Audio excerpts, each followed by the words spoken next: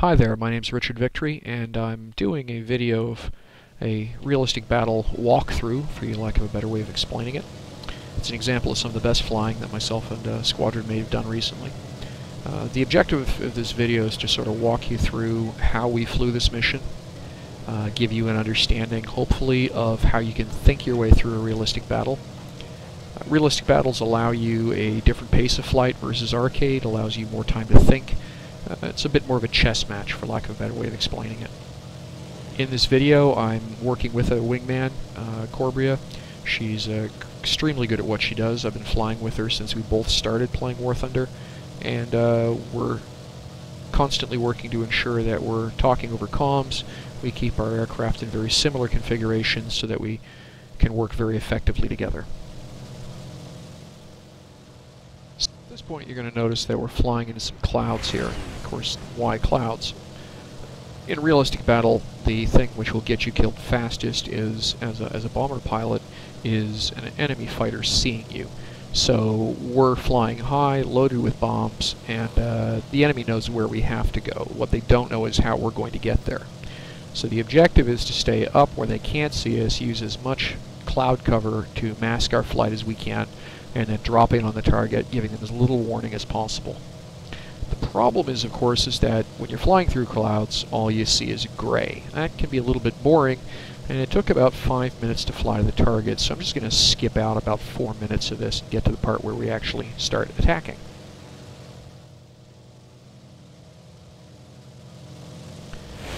So as we're heading in, we do have a plan in mind. The objective is from the U.S. spawn area, we're on the Korea map, realistic battles.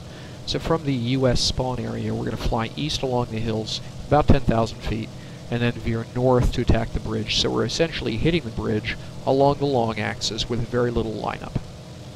Uh, is in the lead, my ship's about a kilometer behind her plan is, if she kills the bridge, then I'm just going to veer off and go after some of the armor that's on the other side of the river, try and unload the bombs, score a few quick kills. If she doesn't kill the bridge, then I'm going to be right behind her, have plenty of time to see that, and hopefully be able to finish the bridge off. If someone else gets the bridge first, the plan is we're both going to break off, vector off towards the nearest tank column, and put our bombs on the on the uh, incoming tanks both aircraft are carrying four 250-pound bombs. The enemy knows what they're doing, and we both presume that they are do, then we expect they're going to have a couple of fighters protecting the bridge. They know that we have to knock that bridge out, or we're going to lose immediately. So we're going to uh, expect to be having to fight air-to-air -air as soon as the, our bombs are off the racks. Um, so from about 10,000 feet and about 10 kilometers away, we start into a long, shallow dive, angling in for the bridge, but we're building up a whole lot of momentum for the run into the bridge. So right away, almost even before we get a chance to start our attack, we see the mission objective failed. So the other team is doing their job. This ups the ante for us. We need to kill that enemy bridge or we'll lose. The way this map works is that the both sides have um, AI tanks which are rolling into a capture zone. If their AI tanks outnumber our AI tanks, we lose. So they've just cut the bridge, which will prevent our reinforcements from getting into the capture zone. That means we need to stop that to kill that bridge.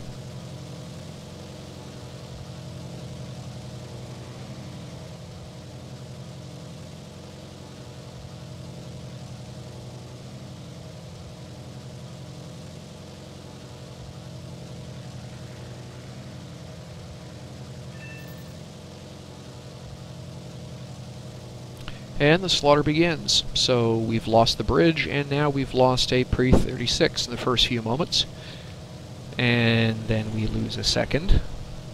And then a third.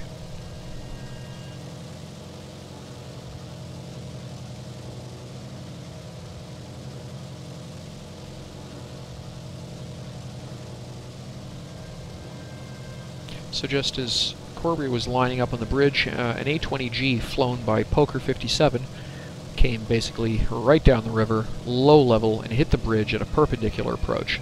Fantastic bomber work. Low, fast, put bombs right on the target, out goes the bridge. So now we veer off towards our secondary targets. So you'll notice I was dropping pairs of bombs during that run. Um, the Beaufort, as I said, was dropping 250 pound bombs. Because of the artificially reduced kill radius that Gaijin uses, you pretty much have to get within 25 feet of a medium tank to ensure a kill. So particularly in realistic mode, we aim for pairs of tanks with pairs of bombs. That improves the odds of a hit or a kill. The first pair was a miss, the second pair was a hit and a kill. Not sure why it didn't show on the playback. Now you probably noticed that uh, Corbria just took out some AA there. Killing flak's important to long-term strategy. If you can't find clusters of tanks, kill clusters of AAA. It'll just make your life easier later on. Here you'll see me going vertical. Uh, we just had to go air to air. We picked up a fighter who just showed up a little bit late to the party over that bridge. With uh, a thousand pounds of bombs and a dozen pounds of fuel used, the Beaufort now has power to burn. By going vertical, I force the enemy fighter to commit to a poor energy state. I'm not suffering because of all that low weight. If he extends and goes after Corbria, I slotted behind him and use 303s with API. If he chases me up into the loop, he flies into my dot 50s using API, and Corbria turns to engage him from his 6 o'clock. Either way, he's squeezed. So this is an example of long scissors and defensive flying. The enemy fighter pilot was smart. He let me finish my loop, avoided engaging me until I had to move to rejoin Corbria, and then he dropped in on me. So Corbria is about 500 meters ahead of me. So I tell her to cut her power down, and I scale up to war emergency power. Now, due to some strange behavior with War Thunder's playback, my gunner, my tail gunner, sorry, seems to be firing to the left and right all the time, but the bandit's actually in my 567 arc this whole time. At this point, you can see us flying a classic scissors maneuver even as the distance between our two planes is dropping. My tail gunner is firing bursts, which means the enemy fighter doesn't want to get too close.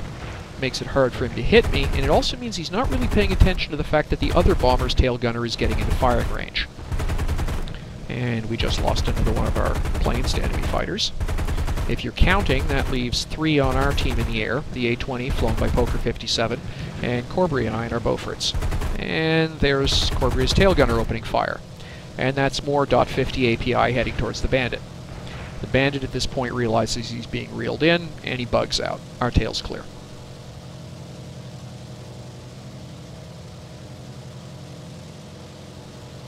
And this is the Gaijin fan club moment. This is a damn pretty game. Take a look at that.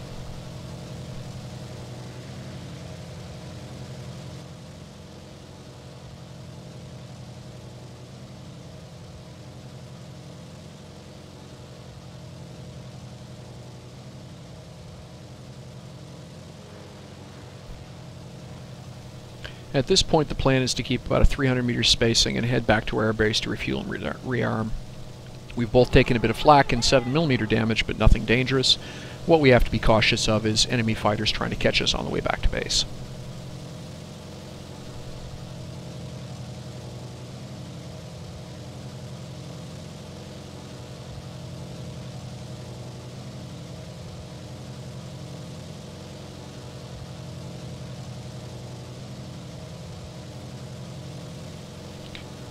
And now the enemy starts cleaning up. With most of our team shot down, the enemy starts hitting ground targets and clearing the way for what should be a probable victory for them.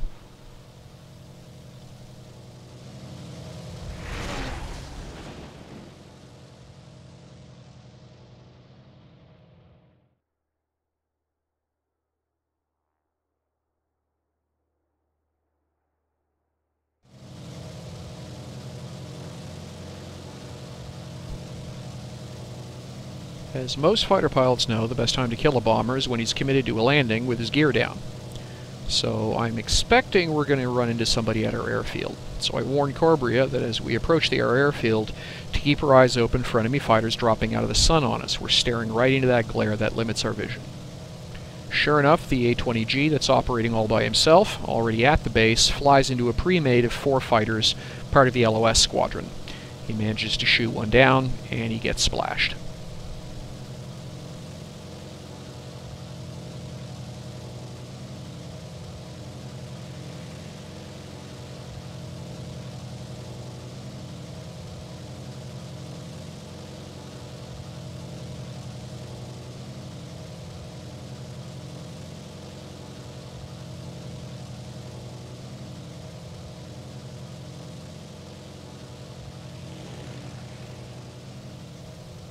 This is going to be a battle for our air base. We plan to engage the enemy fighters over our base because we just can't land safely with them in the air. The plan is simple. We either wear them out, uh, where they shoot us down, we shoot them down, or our AAA nails them. We have the luxury of flying defensively here. We have 40 minutes of fuel left, very little damage, and 8 friendly AA guns. So we head in full power, combat flaps deployed. LOS are smart, they've already started killing our AAA.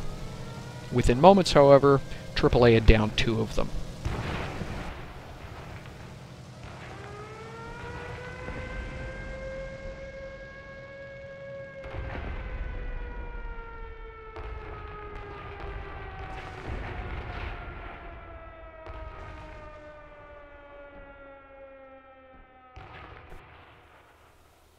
So Corbury and I both go vertical and away from each other, forcing the attacker to pick who to chase, leaving the other friendly to pull in behind him. The acrobatic smoke from our planes at this point is pure saucy. We're showing off and trying to annoy our attacker. I'm trailing red, she's trailing green. We always fly with smoke turned on when we're flying uh, in arcade. He commits to attacking Corbria, and I slip in behind him. The nose gunner starts firing as soon as I'm level.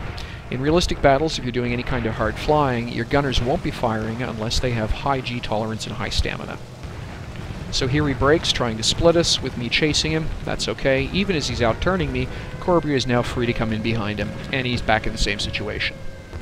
As a point of comment, the safest place to be with an enemy fighter is behind him. Even if you don't have nose guns, he can't shoot you in his six. He switches targets again, going after Corbria, so I pull in behind him. He's got dot 50 coming at him from ahead and dot 303 coming at him from behind.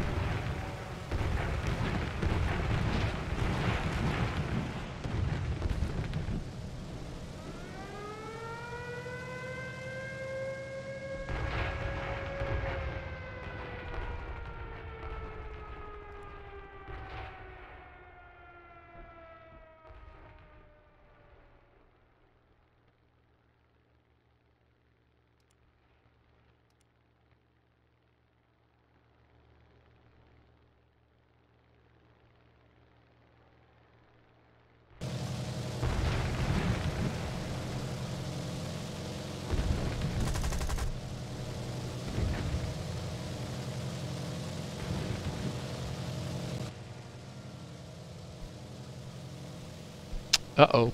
We screw up, and instead of flying a heart breakout, we're both flying line astern, and Corbria can't support me. She's too far away. And then another enemy fighter jumps into the battle over the airfield. And thankfully flies right into a hangar while trying to strafe an AA gun. And the last attacker gets splashed by AAA as Corpory and I get our act together and pull back into formation.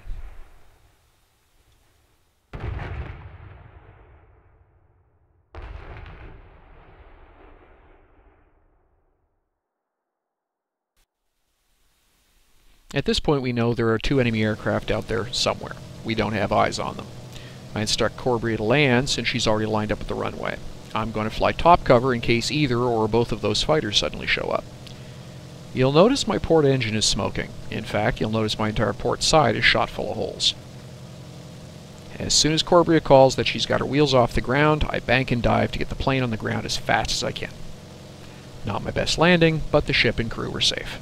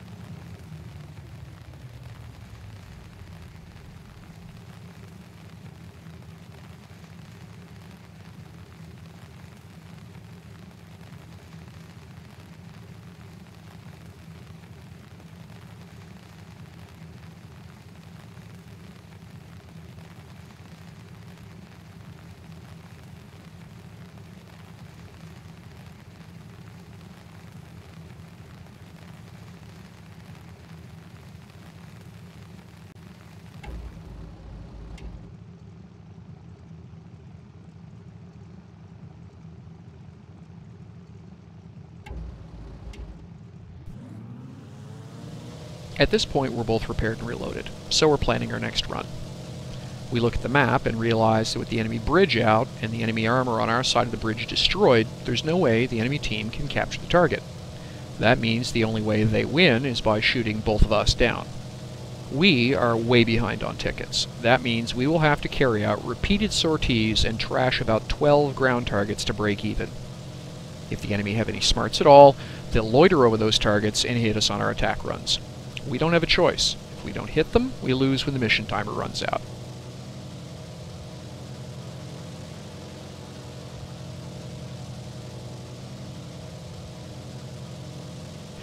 Again, we're flying slight line astern here, about 300 to 500 meter spacing, with me slightly higher. This gives lots of look around versus attacking fighters as we're heading in on our run.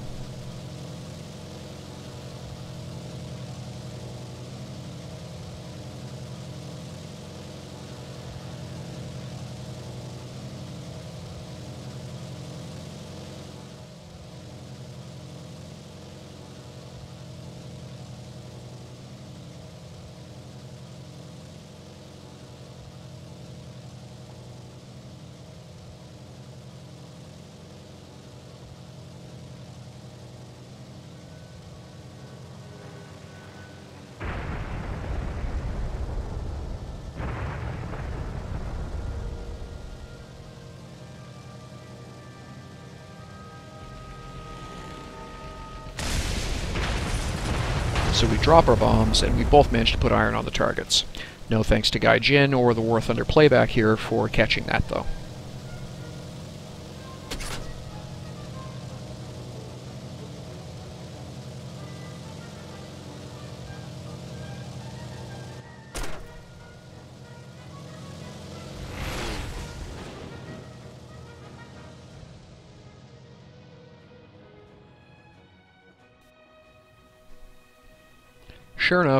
There is the first enemy fighter heading to intercept us as we cross the river. I break high and right, while Corbry extends the horizontal. Again, the attacker has to choose, and this leaves the other plane in a position to slip in behind him for a squeeze play. At this point, it all could have gone horribly badly for me. I'm not in a pure head-on. I'm actually crossing to his right and below him, so my gunners get shots at his engine and belly as he goes by. And much to my momentary horror, he fires a salvo of rockets at me. They basically bracket the plane on all four sides, but thankfully score no hits.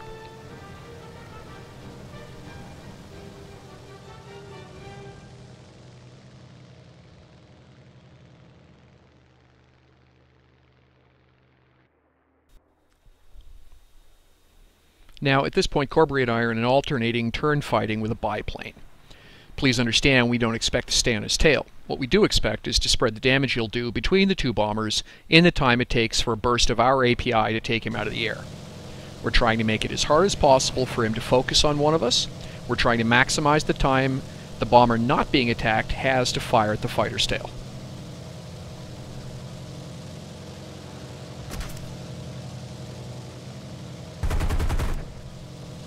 I get lucky, and he lingers on my tail a little too long, a little too close, and my dot 50s blow his tail off. Just in time for the other fighter to drop in on us from wherever he'd been patrolling when his chum said he'd found us.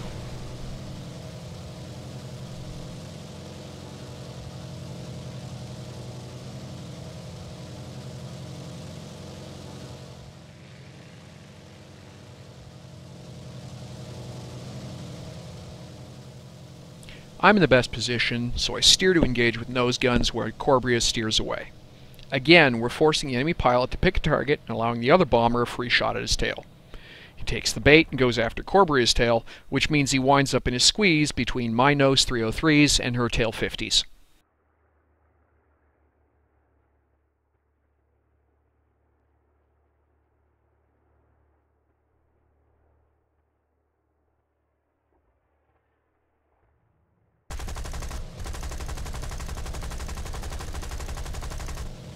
Gaijin, you really need to fix the playback system. My nose gunner is firing at the enemy fighter. Basically, there are tracers going everywhere around that fighter in both directions. I'll give him points for cool. He stuck to his play, trying to shoot Corbria down. Trying to break away at this point would have meant he'd just get run down by our two bombers. He's raking Corbria's ship over badly even as both of us are marking hits on him. Both of those pilots are doing some excellent flying. And then she puts a burst of API into his engine and sets him on fire. I stay on his tail, letting my nose gunner keep shooting steadily, making sure he's not going to put that fire out before, before he augers in. And he fights it all the way to the ground, but he just cannot keep the plane in the air. At this point, with her ship shot full of holes, Corbria steers for high air. All we have to do is let the ticket counter bleed out, with the enemy air force defeated. And that was a win. One air kill and one air assist each. We contributed to the defeat of a total of six enemy aircraft. Lessons learned. First, never ever leave your wingman. Second, if you didn't bring a wingman from your own squadron, volunteer to be somebody else's in the match. Thirdly, keep fighting even if you don't think you can win. We probably should not have won that match by conventional thinking, but we just kept fighting. Next, play the terrain. We used our own AAA batteries to our advantage constantly. Lastly, think of your enemy's plans as well as your own. They know how they have to fight to win the game so that you can be ready for it.